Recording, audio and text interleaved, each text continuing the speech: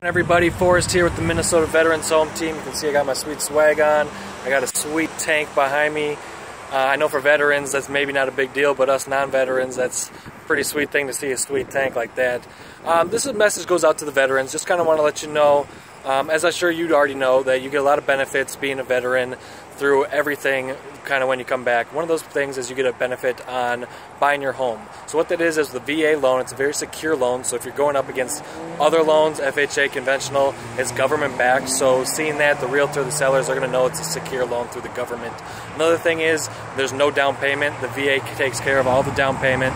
So you won't have to have a down payment coming into closing or anything like that. Also, depending on your disability level, disability rate percentage, you can qualify for tax breaks and other benefits through the home buying process. So if you're a veteran, you know a veteran that wants to, has been thinking about getting into the home buying process, please reach out to me. I'd love to help them out. All right, guys, take care.